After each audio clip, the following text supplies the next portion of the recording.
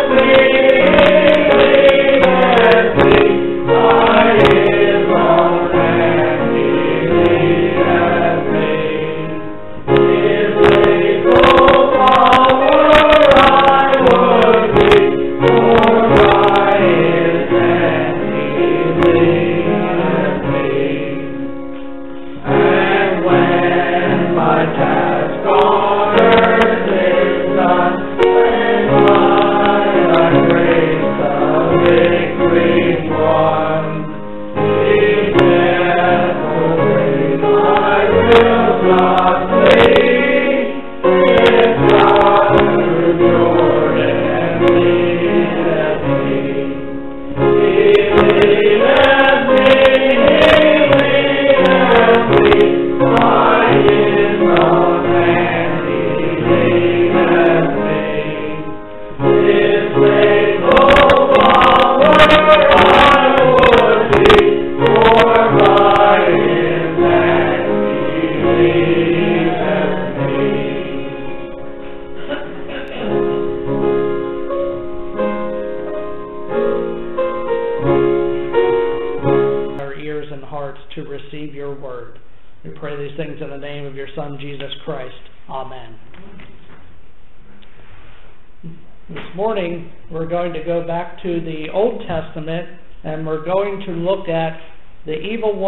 Jezebel. And you may say, didn't we just look at her last week?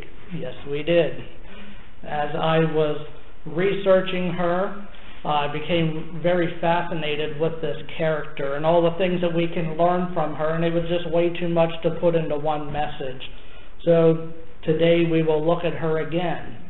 And specifically, we're going to look about look at how Jezebel's uh, rep, represents the average person who rejects God in their life. Uh, we can look at Jezebel and any number of unsaved sinners, and we can rank them in terms of how bad of a sinner they were. And we can say, well, she wasn't as bad as him over here, but he wasn't as bad as Joseph Stalin and Adolf Hitler and all these. but in reality, unsaved is unsaved. And for eternity, the unsaved will end up in the same place. That's why we'll look at the death of Jezebel today, as is told in the pages of Scripture. And we'll look at what that means for the average person who doesn't have saving faith in Jesus. We find this story in the Old Testament book of Second Kings. And we'll read in chapter 9 from verses 30 through 37. If you're following along in your Pew Bible, you'll find it on page 267. And beginning in 2 Kings 9, verse 30, the word of the Lord says, Then Jehu went to Jezreel. When Jezebel heard about it, she painted her eyes, arranged her hair, and looked out of a window. As Jehu entered the gate, she asked, Have you come in peace, Zimri, you murderer of the master? He looked up at the window and called out, Who is on my side? Who? Two or three eunuchs looked down at him. Throw her down, Jehu said. So they threw her down, and some of her blood spattered the wall and the horses as they trampled her underfoot. Jehu went in and ate and drank. Take care of that cursed woman, he said, and bury her, for she was a king's daughter. But when they went to bury her, they found nothing except her skull, her feet, and her hands. They went back and told Jehu, who said, This is the word of the Lord that he uh, spoke through his servant Elijah the Tishbite. On the plot of ground at Jezreel, dogs will devour Jezebel's flesh. Jezebel's body will be like the refuse on the ground in the plot at Jezreel, so that no one will be able to say, This is Jezebel. And the Lord's blessing be added to the reading and hearing of His holy word. Amen. Last week we looked at Jezebel and specifically her relationship with King Ahab, and I'm not going to rehash all that today, but I do want to focus on Jezebel and add that in this additional passage, uh, there's another one that really uh, coincides with this really well. And uh, you don't have to turn there, but I want to read for you 1 Kings 16, just looking at verses 30 through 33. And that says Ahab, who was Jezebel's husband, the son of Omri, did more evil in the eyes of the Lord than any of those before him. He not only considered it trivial to commit the sins of Jeroboam, the son of Nebat, but he also married Jezebel, the daughter of Ethbaal, king of the Sidonians, and began to serve Baal and worship him. He set up an altar for Baal in the temple of Baal that he built in Samaria. Ahab also made an Asherah pole and did more to arouse the anger of the Lord, the God of Israel, than did all the kings of Israel before him. The first reference in this passage about Jezebel tells us who her father was, and his name is Ethbaal. Sort of an odd name. We don't see that name anymore. If you're familiar at all with the false gods of the Old Testament, you come across names such as Ashtaroth, Beelzebub, and Baal. Well, take that last one, Baal. He is uh, one of the more popular ones that the Israelites gravitated towards. He was a Canaanite god. So the name of Jezebel's father, Ethbaal, means worshiper of Baal.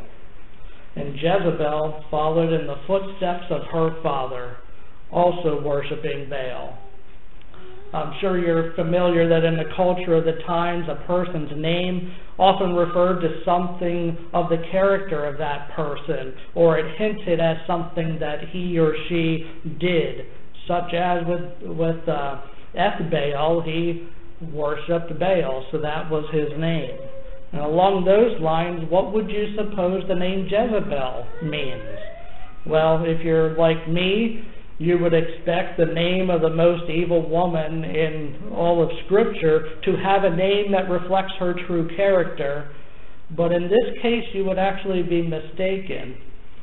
See, the name Jezebel means chaste or free from carnal connection. Not what we think of when we think of Jezebel. We think of the exact opposite. And uh, Jezebel's name points to something much deeper, though. And uh, it tells us, really does tell us a lot about her.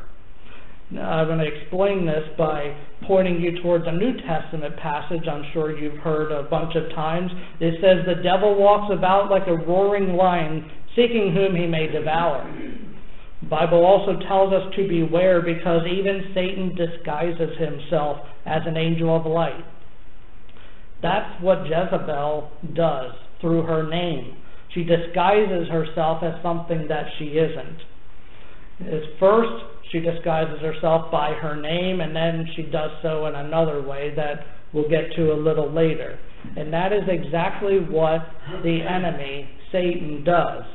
He doesn't ever come right out and reveal himself to us. He camouflages himself so that he can get into places where he doesn't belong.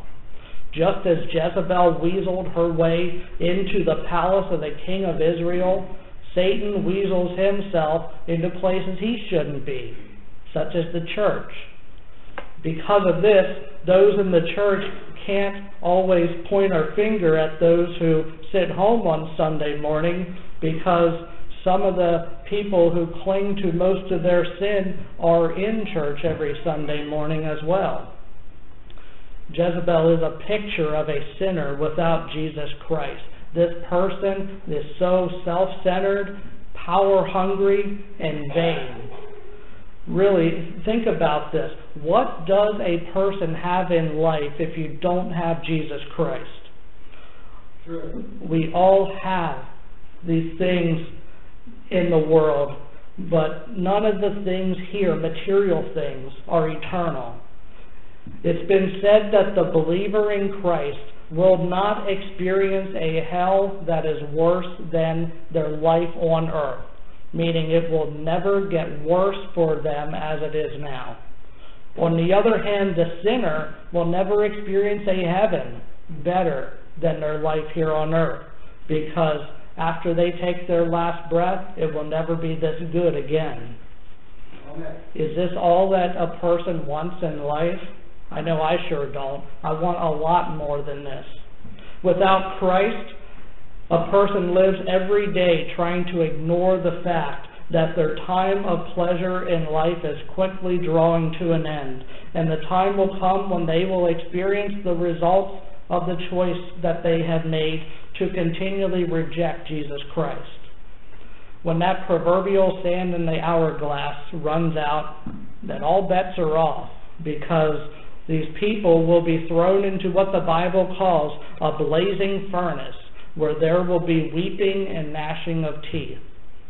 They'll be joining the likes of Jezebel and all the millions of others who have rejected Jesus Christ. You see, Jezebel is a picture of the person who lives their life without Christ. But there's also a lot more to it than that. The self centered nature and vanity of Jezebel is seen in verse 30, where it says, Then Jehu went to Jezreel. When Jezebel heard about it, she put on eye makeup, arranged her hair, and looked out a window. On the day that Jezebel died, we read that she was dolling herself up, putting on makeup and fixing her hair to look as good as she could. There's several suggestions as to what she's really doing here. One expert I looked at said she was preparing her body for her burial, knowing that she would die soon. But honestly, I'm not so sure about that. Um, when a person lives their life as Jezebel did, they become addicted to power and they are so selfish and that because they're separated from God. And I don't think that all of a sudden a person like Jezebel is going to all of a sudden uh, be accepting of her fate that she's going to die soon. I think that person is going to fight to the bitter end. So, the idea of preparing for her death, I think, seems rather unlikely. What I do think she is doing is rather obvious. uh, she's taunting the enemy. She's sure that this isn't going to be the end of her, so she's going to look as good as she can like she would on any other day. Maybe she's even planning on using her good looks and maybe even using her body, if need be, to get her out of yet another jam. This fits in with the vain character that we know of a person like Jezebel. There's even a phrase that uh, you may have heard somewhere through the years. They call a person a painted Jezebel. I don't know if anyone ever heard that uh, before. This, of course, is a reference to a way that a, a woman would uh, paint up her face to cover up an ugly persona uh, underneath. Jezebel lived like she would never die. She lived arrogantly and selfishly. And imagine the shock that she would uh, experience whenever she was thrown from a window. She actually has one of the most unique deaths in all of Scripture, as she was thrown from a window by two officials in the king's palace. Now, the next time you're at a party or a family gathering, you can show how smart you are in this way. You can use a big word that hardly anyone knows, and that word is defenestrate. Okay, they don't use the word in the Bible, but that's what happened. Now, back in high school, I dabbled a little bit in Latin, the Latin language. Um, I figured, why not learn a language no one speaks anymore? Uh, so it was actually helpful because it uh, teaches you some of these words that are in the dictionary but no one ever really uses. And I learned that the word fenestra in Latin means window. So it follows that to defenestrate means to throw someone or something out a window. And I was surprised, first of all, that there was even a word for this. Apparently, it happened enough that someone decided we're going to make a word for to throw someone out a window. But so you can end up saying they defenestrated Jezebel. And whenever people look at you like you're talking another language, you can then explain that defenestrate means to throw a person out a window, and in the end, you probably want to avoid the whole thing and just say they threw her out a window in the first place because you save a lot of time in the process. But when people live their lives like Jezebel did, with no regard to God, the end for them is in many ways like that of Jezebel. In verse 32, we read two or three eunuchs who were working for the king, we realize was also working for Jezebel by extension. But when they had the first opportunity, they took advantage of that and killed her. When you treat people the way that Jezebel treated people, using them as pawns or stepping stones just for your own desires, you shouldn't be surprised that using people and manipulating them to get whatever you want is not the way to endear yourself to others. It's not the life of the Christian. And it certainly wasn't the life, or it was the life of Jezebel. People like her may act to your face like they're your friend, but their actions will always betray them. The shame is that people like Jezebel will never really have true friends on earth, and they won't have any place, uh, won't have any friends in the place where they are going to spend eternity as well. In verse 34, we see the respect or lack thereof uh, to, that Jehu gave to her upon her death. Now, if it were you and if you witnessed such a violent, bloody death right before your very eyes, how do you suppose you would react? Would you say a quick prayer, may God have mercy on her soul, and uh, turn away from the sight? Well, look what Jehu did. It says he went in and ate and drank. He said, Take care of that cursed woman and bury her, for she was a king's daughter. Now, I'm not always the sharpest tool in the shed, as they say, but I get the feeling that there's not any love lost here between the two of them either. I mean, if you can turn from such a gruesome scene and go in and eat a nice hearty meal, then you obviously weren't bothered by what you saw and you weren't emotionally distressed by it either. That's the lack of respect that Jezebel earned by the way she lived her life. And that's really the point right there. Jezebel earned everything that she got, especially in death. People say that God is not good whenever He sends people to hell, but they don't tell you that God gives people exactly what they ask for. The choice is ours all along. You either choose eternity with Jesus or you choose eternity without Him. But you can never say that God is not good for allowing that person the option to choose. He uh, will allow you to go wherever you want. God never forces a person into heaven. If so, I would imagine heaven wouldn't be perfect like it is because you would have people who don't want to be there. And you may ask, well, who in the world would not want to go to heaven? You would be surprised. There are people out there who go around saying things like, I don't want to go to heaven because it's boring and I hate everyone who's in heaven anyway. I didn't like them on earth. I'm not going to like them then. And just these people exist out there. And for that reason, God's not going to force them into heaven. He gives them a choice where they want to spend eternity. Back to Jezebel. In verse 33, in rather gruesome fashion, it says, Some of her blood spattered the wall and the horses as they trampled her underfoot. But worse, it says, when they went out to bury her, they found nothing except her skull, her feet, and her hands. This was the fulfillment of Elijah's prophecy when he said, Dogs will devour Jezebel's flesh. Jezebel's body will be like dung on the ground, so that no one will be able to say, This is Jezebel.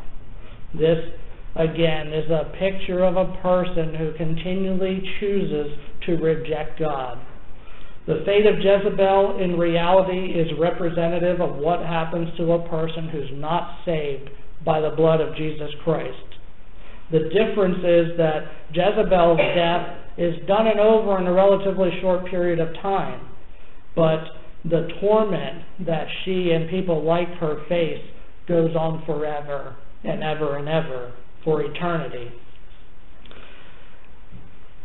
Whenever I think of how bad that must be, you know, eternity in hell, I then think of how great heaven must be on the other hand. And we all know the great hymn, Amazing Grace. Well, the line in there says, When we've been there 10,000 years, bright shining as the sun, we've no less days to sing God's praise than when we first begun. This, of course, is a picture of eternity with God, but have you ever thought, and I know it's a little bit morbid, but uh, I have thought this from time to time, while these people in heaven are experiencing 10,000 years of blessedness, there are also people in hell who are experiencing that much torture. And it seems as if their pain has just begun 10,000 years from now. Should be the most terrifying thing to ever consider, but this is why we need Jesus Christ. And it's why, if there is someone that you know doesn't have salvation through Jesus Christ, you owe it to that person to at least tell him or her about Jesus and urge that person to accept his offer of salvation. That's all that we can do is tell them about it. We can't force them, like God can't force them into heaven. But we can tell them that we know what eternity holds for the person who rejects the offer. So why would we not want to urge a, a person to join us with God in eternity? Salvation is not anything to play around with, and it is the ultimate life and death situation. We truly have the key that the whole world needs. Why would we be so selfish to keep it to ourselves? It reminds us that we as Christians need to be aware of the spiritual condition of those around us. Jezebel was a great example of this. You see, her death revealed her spiritual condition.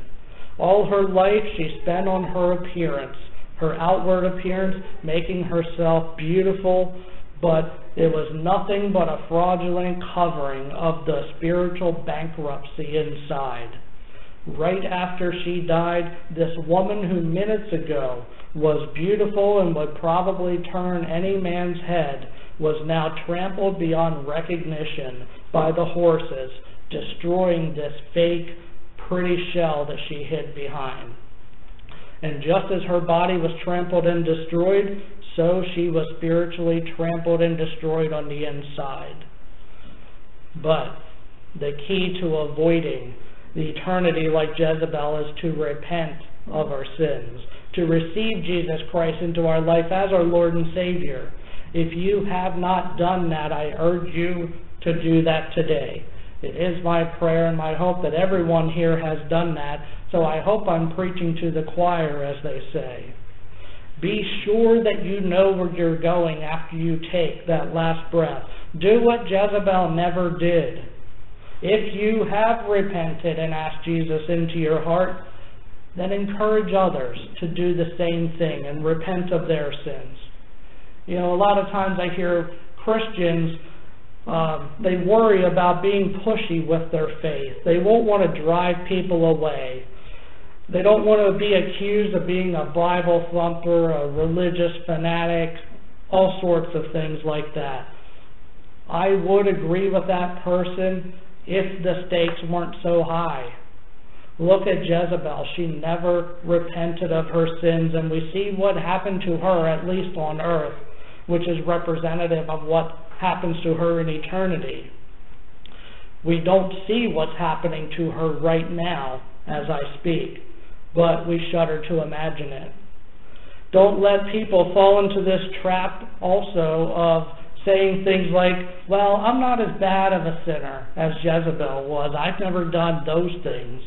Or, I've done bad things, but also look at all the good things over here I've done too. The Bible doesn't say, if you're not as bad a sinner as others, you may be saved. It says it is by grace that you have been saved through faith.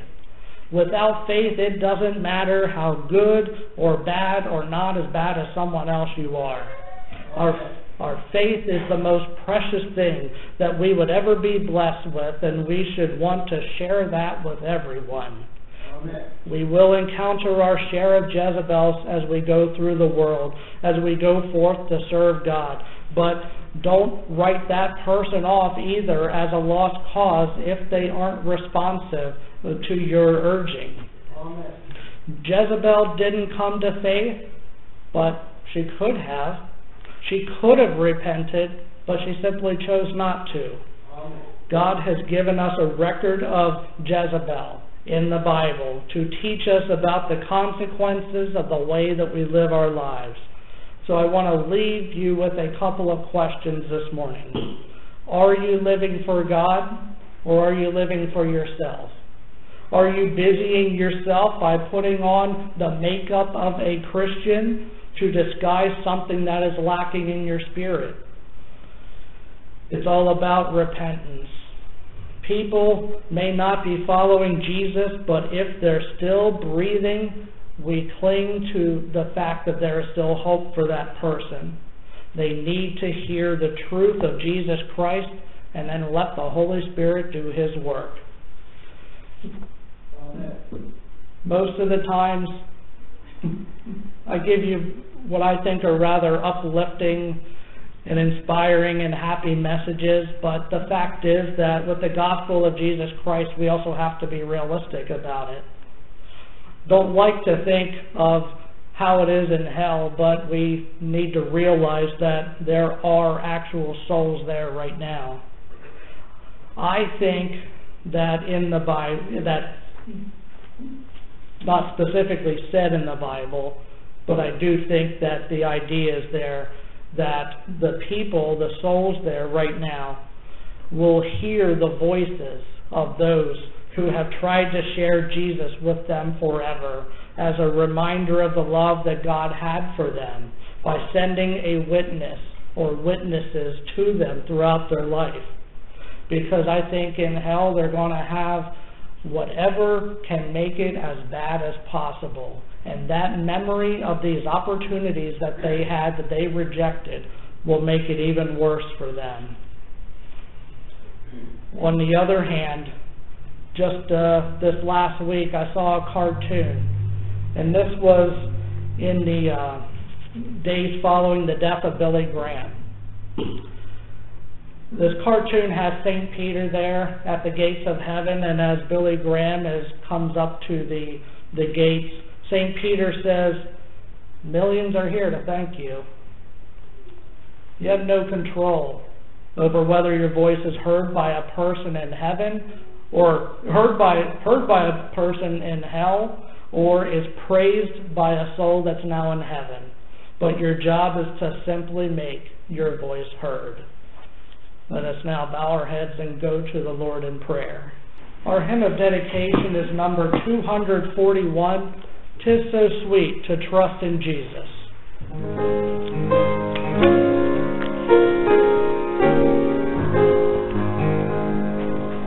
this day, tomorrow,